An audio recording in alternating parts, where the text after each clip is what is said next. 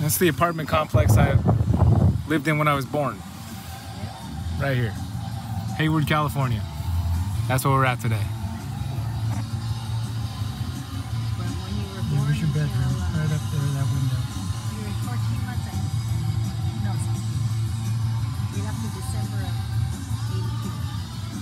82. There it is.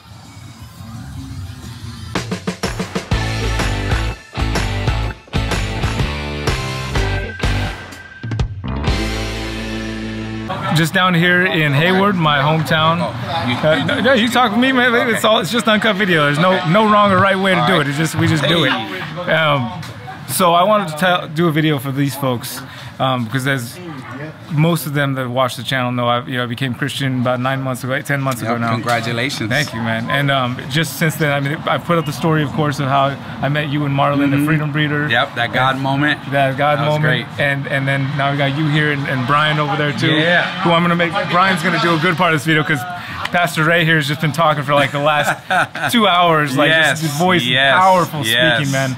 But I just kind of wanted to do a little video about you know what it means to be a Christian Mm-hmm. to you, eh, just because I think everybody out there that doesn't know what it is necessarily has Mm-hmm. maybe different views of it.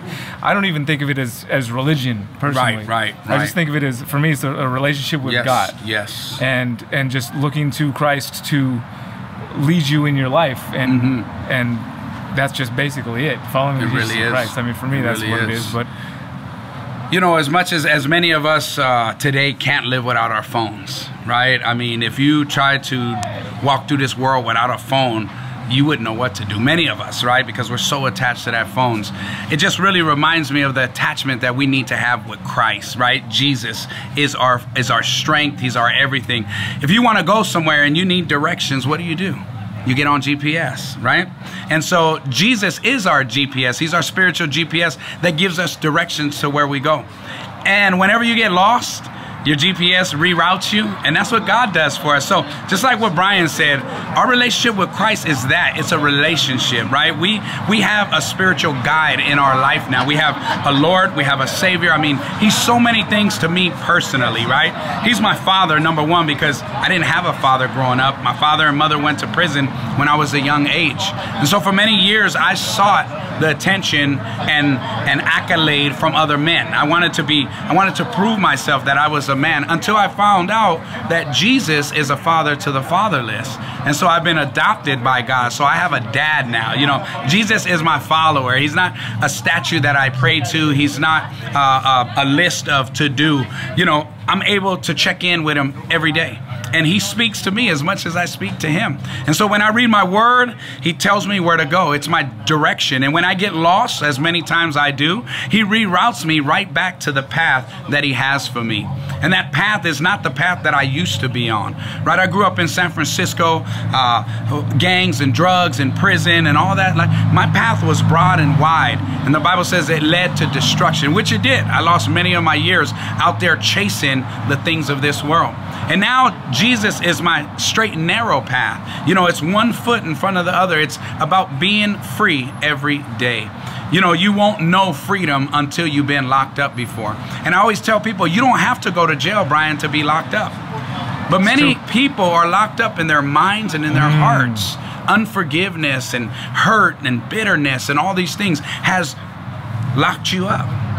But Jesus frees us from that. And so, you know, I remind myself of the first day that I stepped out of those cement walls, you know, 2004. And glory to God, it's been 18 years since I've been incarcerated.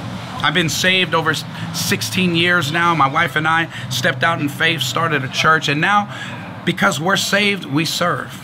And because we were found, we help to reach and find others. So serving God is my spiritual direction of how to navigate through this life.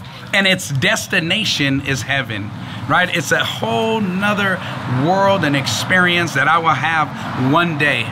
But while I'm here, I'm trying to bring as many people as I can to know the truth about Christ. Right? One of my favorite scriptures, Brian, is in John 14, 6, where Jesus says, I am the way, the life. I am the way, the truth, and the life. No one comes to the Father except through me.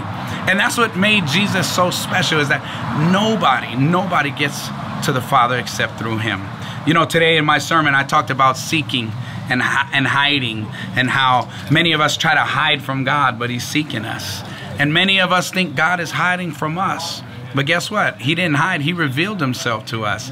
He stepped down from heaven to come be human, flesh, blood, just like us, so that he can show us back to the way. I mean, I don't know no uh, spiritual, I don't know no GPS, uh, I don't know no Alexa that is going to leave that realm to come to this to show me the way. And so, as he showed me the way, I help show others. And I hope that you will find the way, the truth, and the life. And that's through Jesus and Jesus alone. So, being a Christian to me is about carrying my cross. It's not about wearing my cross. It's not about having the t shirt. It's about knowing that He suffered, He died for me, but He rose for me too. And so, when I go through this life, through hardships and sufferings, I, I, I'm not alone. Before I used to be alone, now there's a hope, and I know that God is with me, though I walk through the valley of the shadow of death. And so I just really, really pray that you will open your heart and invite him in. He wants to come to your house. He wants to bring salvation to your house today because that's what he did to Zacchaeus. He said, I'm coming to your house, right? And Zacchaeus didn't hesitate. He welcomed him. He repented and said, Lord, be the Lord of my life. And that's exactly who Jesus is to me. It's a beautiful. Thank you. Thank you.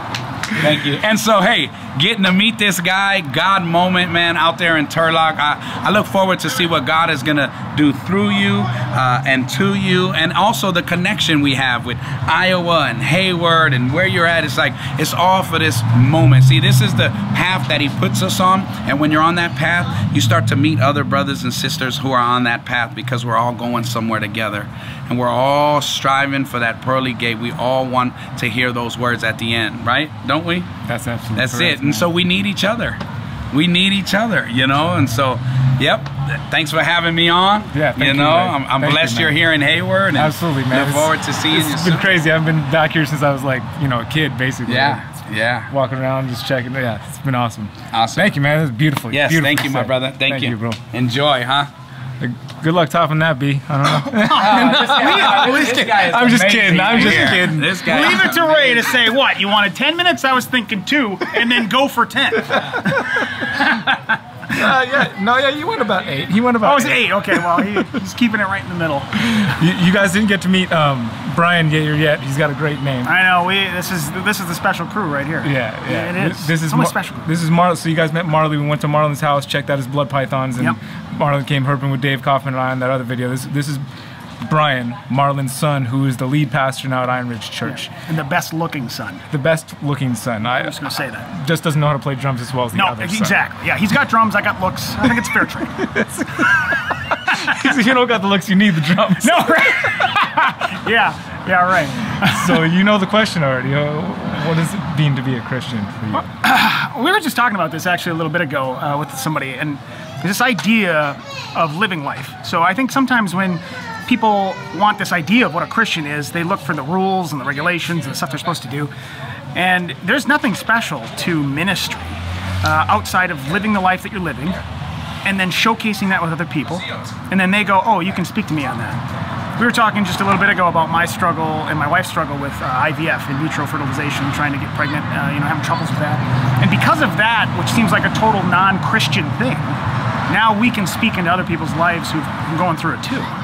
And for anybody that thinks that, oh, I got to have the seminary degree, I got to have the Bible knowledge, I got to have the uh, the Scripture memorized perfectly, no, you know, Jesus walked around, he told stories to people, interacted with them in their everyday life, and it's like that's what we need to do. We need to live life, and then those who we encounter, we say, hey, this is what I'm doing, this is where I'm going, and this is how Christ is going through it with me.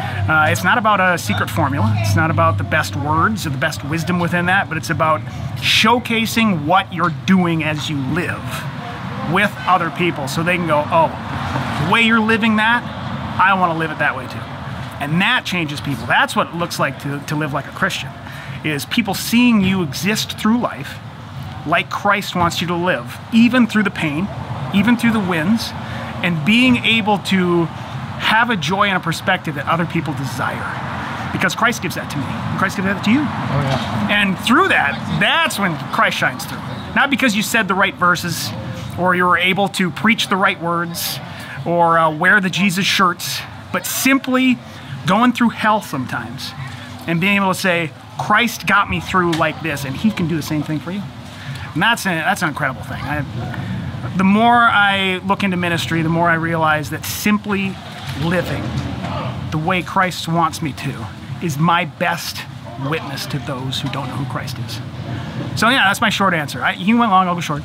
That, that's my that's my short answer. No, it was, it was beautiful, B. It was beautiful. Um, It's been great to see you guys out here again. Yeah, and, it's just, been great to get to know you too. You know, you're in a you're in an incredible place, and uh, as we've witnessed, you know, some of the experiences that you've been going through and relationship you have with Marlon and now with the church and with people out here, it's like I see you living that way already. Is this? I'm a Christian, but my life continues the way it is, and God showcases Himself through it. That's an incredible way to live. Amen. Amen.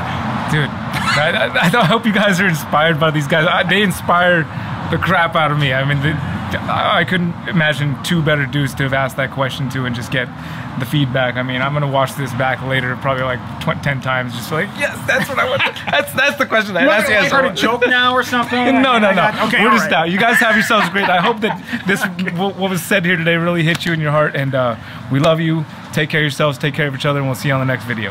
Aloha. See ya.